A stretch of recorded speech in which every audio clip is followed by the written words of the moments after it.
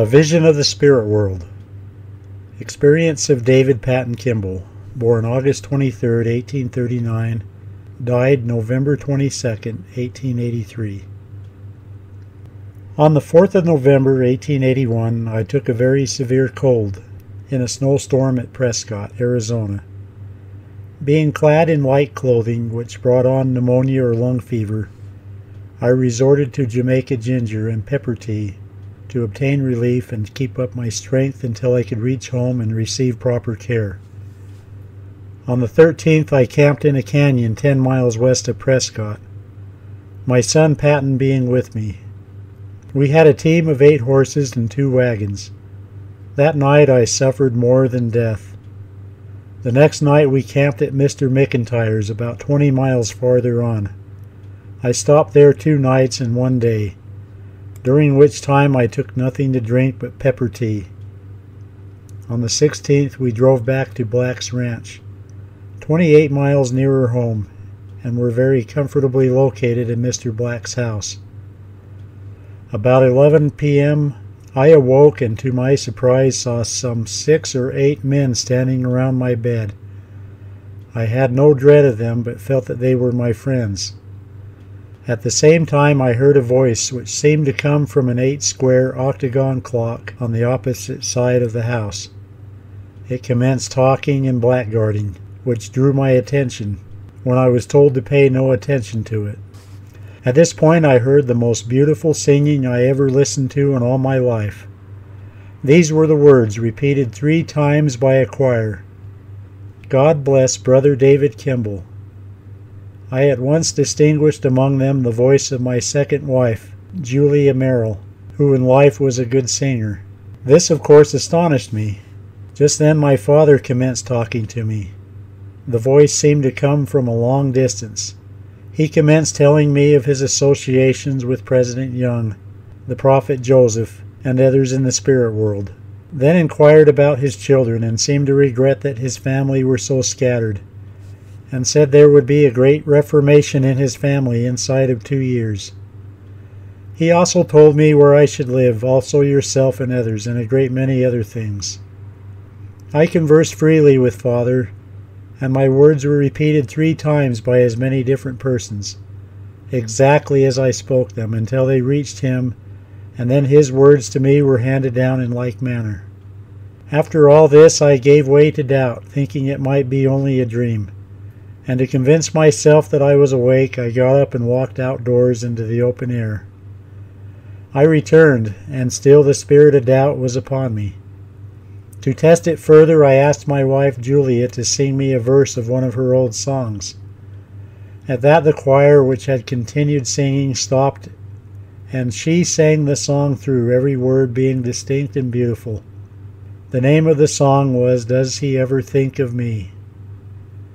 My eyes were now turned towards the south, and there, as in a large parquet, I beheld hundreds, even thousands of friends and relatives. I was then given the privilege of asking questions and did so. This lasted for some time, after which the singing commenced again, directly above me.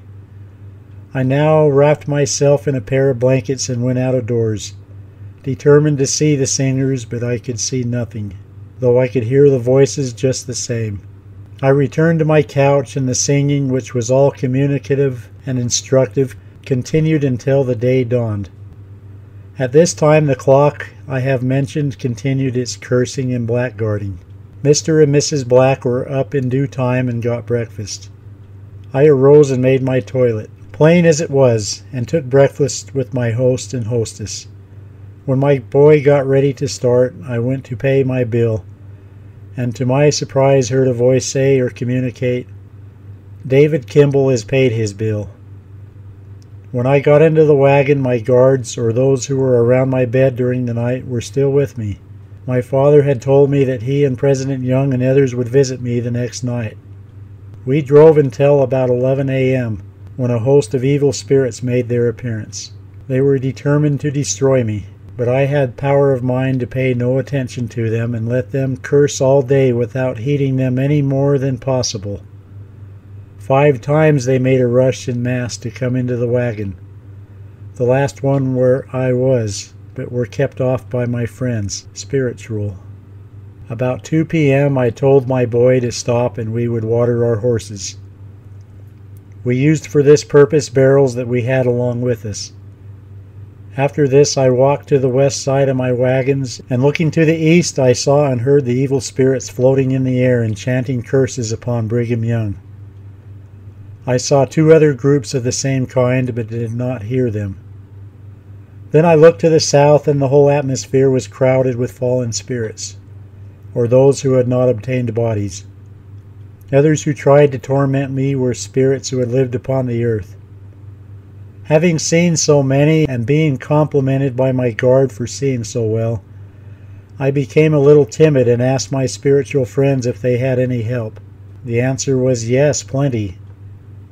I now told my boy to drive on. He was entirely oblivious to all that was taking place with me, and soon after I was so exhausted that I fell into a troubled sleep and must have slept quite a little while. After I awoke, I seemed to be left alone and was lying on my back, when at once I saw an old man and two young girls.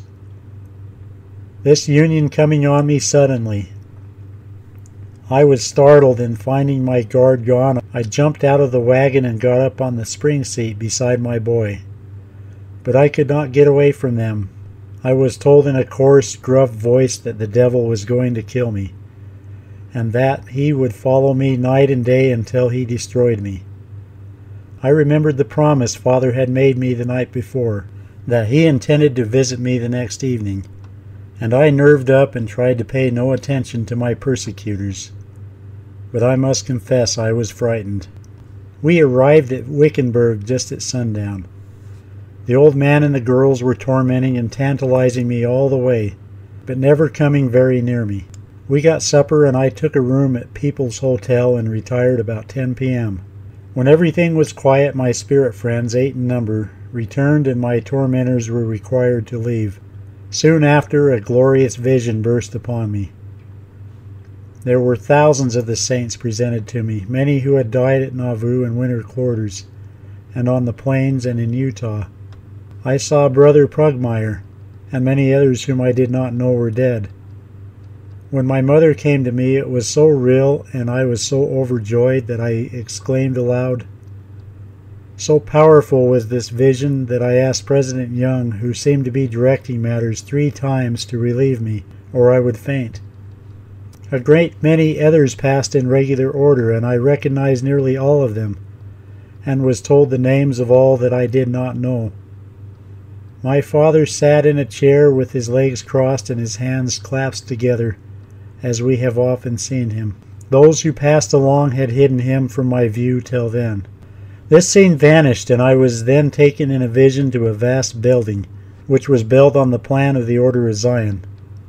I entered through the south door and found myself in a part of the building which was unfinished, though a great many workmen were busy upon it. My guide showed me all through this half of the house, and then took me through the other half, which was finished. The richness, grandeur, and beauty of it defied description.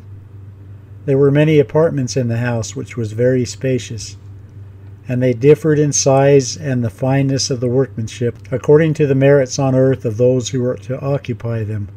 I felt most at home in the unfinished part, among the workmen. The upper part of the house was filled with saints, but I could not see them, though some of them conversed with me, my father and mother Uncle Joseph Young, and others. My father told me many things, and I received many reproofs for my wrongdoings. Yet he was loath to have me leave, and seemed to feel very badly when the time came for me to go. He told me I could remain there if I chose to do so, but I pleaded with him that I might stay with my family long enough to make them comfortable, to repent of my sins, and more fully prepare myself for the change. Had it not been for this, I never should have returned home except as a corpse. Father finally told me I could remain two years and to do all the good I could during that time, after which he would come for me. He mentioned four others that he would come for also, though he did not say it would be at the same time. On the 18th of November, about noon, we left Wickenburg. which is 22 miles from Black's Ranch where we stopped the previous night on our journey home. I was exhausted from what I had experienced, and I could feel my mind was fast giving away, but I had confidence that I would reach home alive. There were no elders to administer to me, and no kind friends to look after my wants except my son, who had all he could do in looking after eight horses and two wagons. As my mind wandered and grew weaker, I was troubled and led by influences over which I had no power, and my friends, the good spirits, had all left me. We drove about 20 miles that afternoon, camping about 8 miles from water on the Salt River Desert, which is about 50 miles across. During the fore part of the night, I heard the horses running as though they were frightened. My son was asleep, but I got up and put on my overcoat across my shoulders and went out to where they were and got them quieted down. I was about to return to the wagon when that same old man with gray whiskers who tormented me before stepped between me and the wagons. He had a long knife in his hand. I was frightened and fled, he pursuing me and telling me he was going to kill me. What I passed through I cannot describe, and no mortal tongue could tell. I wandered two days and three nights in the Salt River Desert, undergoing the torments of the damned, most of the time which was beyond anything that mortal could imagine. When my mind was restored and the fever which had raged within me had abated, I found myself lying on a bleak hilltop, lost in the desert, chilled, hungered, thirsty, and feeble. I had scarcely any clothing on, was barefooted, and my body full of cactus from head to foot. My hands were a perfect mat of thorns and briars. This, with the knowledge that no one was near me, made me realize the awful condition I was in. I could not walk. I thought I would take my life, but had no knife or anything to do it with. I tried to cut an artery in my arm with a sharp rock I had picked up, hoping I might bleed to death, but even this was denied me. The wolves and the ravens were hovering around me, anxiously awaiting my death. I had a long stick and I thought I would dig a deep hole and cover myself up the best I could so the wolves would not devour my body until I could be found by my friends. On the night of the 21st, I could see a fire about 25 miles to the south, and felt satisfied that it was my friends coming after me. I knew the country where I was. I was about eight miles from houses where I could have got plenty of water and something to eat, but my strength was gone and my feet were so sore I could not stand up. Another long and dreary day passed, but I could see nothing but wolves and ravens in a barren desert covered with cactus, and had about made up my mind that the promise of the two years' life made by my father was not to be realized. While in this terrible plight, and when I had just about given up all hope, my father and mother appeared to me and gave me a drink of water, and comforted me telling me I would be found by my friends who were out searching for me, and that I should live two years longer as I had been promised. When night came, I saw another fire a few hundred yards from me, and could see my friends around it, but I was so hoarse I could not make them hear. By this time, my body was almost lifeless, and I could hardly move, but my mind was in a perfect condition, and I could realize everything that happened around me. On the morning of the 23rd at daylight, here they came, about 20 in all. Two of my sons, my nephew William, Bishop E. Pomeroy, John Lewis, John Blackburn, Wiley Jones, and others, all friends and relatives from the Mesa, who had tracked me between 75 and 100 miles. I shook hands with them, and they were all overjoyed to see me alive, although in such a pitiable plight. My own feelings I shall not undertake to describe. I told them to be very careful how they let me have water at first. They rolled me up in some blankets and put me on a buckboard, and appointed John Lewis to look after me as doctor and nurse. After I had taken a few swallows of water, I was almost frantic for more, but they wisely refused to let me have it, except in small doses every half hour. I had about 75 miles to ride home, We arrived at my place in Jonesville on the afternoon of the 24th of November, when my wife and family took charge of me and I was tenderly and carefully nourished. In a few days I was around again. I told my experience to President MacDonald, Bishop Pomeroy, C. I. Robson, and others, and most of them believed me, but my word was doubted by some. I told them I had just two years to live so they could tell whether it was a true manifestation or not. Now, dear sister, you have a little of your brother David's experience. I know these things were shown to me for my own good, and it was no dream but a glorious and awful reality. My story is believed by my brethren who have respect for me. I will console myself with the knowledge I have obtained. Let the world wag on, and let hell and the devil keep up their warfare against the saints of God. I know for myself that Mormonism is true. With God's help, while I live, I shall strive to do good, and I will see you before long and tell you all, as it never will be blotted out of my memory. With kind regards, in which my wife and children join, I remain as ever your affectionate brother, David P. Kimball. The rest of the story from the life of David P. Kimball, pages 57 to 70. On the morning of November 19th, when Patton arose and missed his father, he thought probably he had gone out to hunt for the horses, and felt no uneasiness concerning him. He made a fire, prepared breakfast, and waited some time, but could not see or hear him anywhere. The horses came strolling into camp and were tied up, fed and watered. Patton then ate his meal and saddled the horse and rode back towards Wickenburg until he came to a small place called Seymour on the Hassayampa, but could learn nothing of his father's whereabouts. He went back to the wagon and hunted the country close around camp, but found nothing but his father's overcoat, which was a few hundred yards from the wagon. It being an old campground, it was impossible to find his tracks. He finally came to the conclusion that he had gone towards home, so he hitched up his team and drove homeward until he came to Mr. Calderwood's at Agua Fria. At this place, there was a well dug on the desert about 20 miles from the Salt River. Patton had traveled about 22 miles before reaching this point, but was disappointed in not hearing anything of his father. He had traveled all night, and Mr. Calderwood was up and around when he arrived. He related his story to him and was advised by him to leave his team there and take the best pair of horses, and hitch them to his buckboard and go on to Mesa.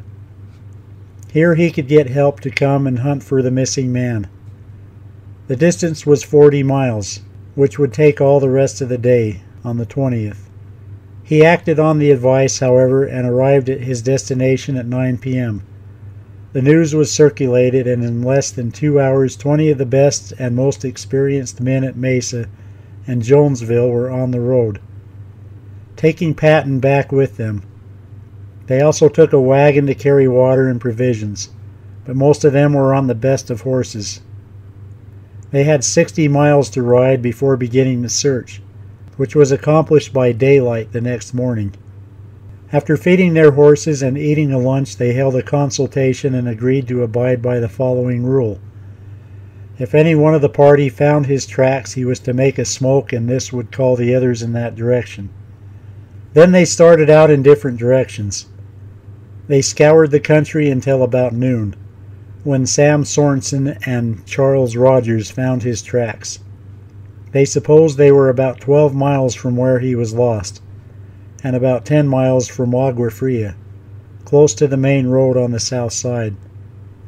They soon gathered some brush and started a fire, putting on plenty of green weeds, etc., to cause a smoke, and soon attracted the attention of their comrades. His tracks were followed, they wound round and round, going in no particular direction. Some places he would cross his tracks eight or ten times in going 100 yards, which made it quite difficult to follow. After spending a part of the afternoon trailing him up, the tracks finally took a direct course leading to the north. By this time, all the searching party were together. Another meeting was held, and the plan adopted was for eight horsemen, four on each side of the tracks, to ride at a considerable distance apart, so as to cut off the track if it turned to the right or the left, and two or three of the best trailers to keep on the tracks while the buckboard and wagon followed up. These were out of sight most of the time, as very good time was made by the trailers after this plan was adopted. The ground was quite soft, and those on the trail would gallop their horses for miles, but darkness soon put an end to their work for this day, a good thing for both men and animals. They had traveled upwards of 100 miles in about 20 hours. They were working men and had plenty of strength to carry them through under all circumstances. They camped on the highest ground that could be found close by, and made a large fire which was kept up all night by those on guard. As soon as it was light enough to see the tracks, every man was at his place, moving as fast as he could under the circumstances. This was the morning of the 22nd. A great drawback they met with that day was that when they would come to a deep ravine where water had run during the rainy weather, the tracks would follow up sometimes for miles and then continue in the former direction. Places would frequently be found in the sand where the lost one had dug down for water with his hands. Now and then they would find a piece of his clothing and see places where he had run into the foxtail cactus, cat's claw, and other thorny bushes. One place was found where he had broken off the limb of a tree for a walking stick. The party followed his tracks all day without stopping, only as they were obliged to, on account of losing the trail or for some other cause. Darkness overtook them again, but nothing could be seen or heard of the missing man. They slept on his tracks, keeping up a fire all night as before. His sons and others could not rest, and followed his tracks after dark by striking matches and putting them close to the ground to see if they might possibly find him. Some thought they could hear a sound, but it was so indistinct they could not discern the direction from which it came. It was indeed he who called, for they were then only a few hundred yards from him, but he was too hoarse to make them hear. On the morning of the 23rd at daylight, his anxious friends were on his tracks, and had gone but a short distance when Charles Peterson saw him. He had a long staff in his hand and had raised up as high as he could get, being on one knee and the other foot on the ground, and was stretching himself as far as he could and looking eagerly for their arrival. The crowd made a rush, and in a few seconds were with him, Bishop E. Pomeroy being the first. He was in his right mind and knew all present, and was glad to shake them by the hand, calling each by name.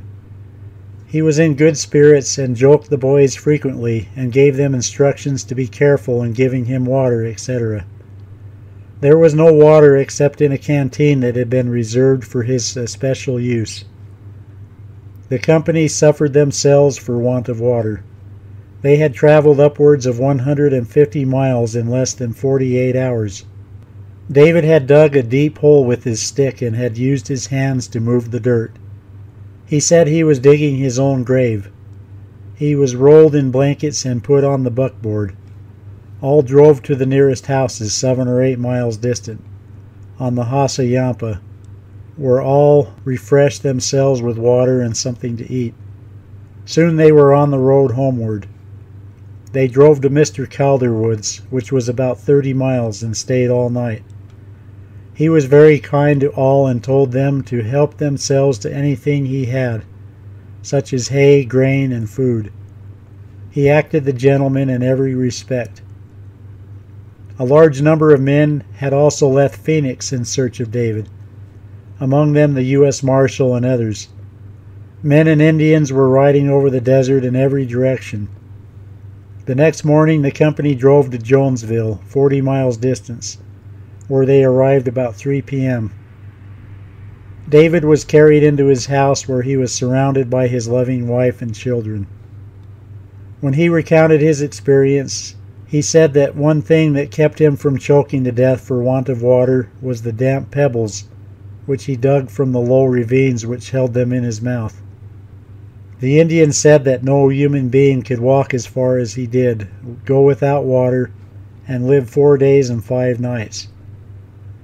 The party that found him said he must have walked 75 miles, some said 100. He testified that on the afternoon of the 22nd his father and mother gave him water and told him that his friends would find him. His clothing was all gone except his undergarments, which were badly torn. Before leaving home on his trip to Prescott, David had worked several days fixing up his books and accounts and burning up all useless papers, after which he told his wife that he felt different in starting on this trip from anything that he had ever felt before. He said it seemed to him that he should never return. He told her that if this proved to be the case, he had fixed his business up in such a shape that she would have no trouble and would know as much about it as himself. She frequently spoke of these curious remarks and felt considerably worried. When the news came that he was lost, all was plain to her, and she never expected to see him come home alive. Nothing could comfort her, and she watched night and day until he was brought home. David was never satisfied with his Jonesville home, on account of certain conditions that surrounded the place, and he therefore traded his farm and improvements for a home on the mesa. When he had settled down in his new quarters, he contracted with the government to furnish Fort McDowell with 800 cords of wood, to be delivered within a specified time. Instead of making twelve or fifteen hundred dollars out of his contract, he gave his friends and relatives the full benefit of it. A number of the most influential citizens of Mesa were closely connected with Brother Kimball in business and religious affairs. When he was president of the Bear Lake Stake of Zion, and they knew his worth. He was later called afterwards to preside over a small colony of saints who had settled near the headwaters of the San Pedro River. This call was a great disappointment to David in many ways, but without a murmur he made the sacrifice. He now disposed of his Salt River property and began his 200 mile journey to the southeast to comply with this new call. Reaching his destination, he lost no time in building a comfortable home and soon surrounded himself with other improvements that were an honor to the community in which he lived. With the help of the people, he built a canal, and soon St. David was organized into a ward. He was chosen bishop. He later became a member of the county school board in that district, a position which he held as long as he lived. The new section of country extending as far north as the Gila Valley soon came into prominence, resulting in the organization of the St. Joseph Stake of Zion with Christopher Layton president and David P. Kimball first counselor. But the latter was not destined to hold that position very long. His days on earth were fast drawing to a close. It will be remembered that in writing to his sister Helen under date of January 8, 1882, he made this statement Father finally told me that I could remain two years longer, after which he would come for me and also mentioned that the names of four others he would come for. I will see you before long and tell you all, as it will never be blotted out of my memory. During the fall of 1883, David paid a visit to Salt Lake City to see his relatives and friends, to whom he confirmed by his own lips all that his letter contained, and told many other things relating to his remarkable experience feeling pained that so many seemed to doubt his word, and being unwilling to make himself obtrusive. When he bade his friends farewell, there was something about him which seemed to say that he was taking leave of them for all time. His visit, no doubt, was made with that object in view, for it was nearly two years from the time he was lost on the desert. Soon after he returned to St. David. Almost the first news that came from there was the tidings of his death. A letter from his nephew, Charles S. Whitney, who was then living with him, written home on the 22nd of November, 1883, contained this Uncle David died this morning at half past six, easily and apparently without a bit of pain. Shortly before he died, he looked up and called, Father, Father. All night long he had called for Uncle Heber. You remember hearing him tell how Grandpa came to him when he was lost on the desert, and how he pleaded for two more years and was given that much longer to stay. Last Saturday, the day he was so bad, was just two years from the day he was lost. And today is just two years from the day his father and mother came to him and gave him a drink of water, and told him that his friends would find him and that he should live two years longer. He knew that he was going to die and bade Aunt Caroline goodbye day before yesterday. During the last two years of his life, David revealed to three of his personal friends the names of the four persons whom his father had told him in vision that he should come for, at or near the time when he would return for him. He exacted the promise from these friends, who it seems had some doubt regarding the divine nature of his vision, which doubt he was anxious to dispel that they would not divulge the names of these individuals until after their death. The names with the respective dates of decease are as follows William H. Hooper, died December 30th, 1882. Horace K. Whitney, died November 22nd, 1884. Heber P. Kimball, died February 8th, 1885. William Jennings, died January 15, 1886. As will be seen, the longest interval given from the death of David P. Kimball is two years, one month and 23 days. William Hooper, who was the first of the four to go, preceded David by about 11 months, while Horace K. Whitney, the second to depart, followed him one year later to a day.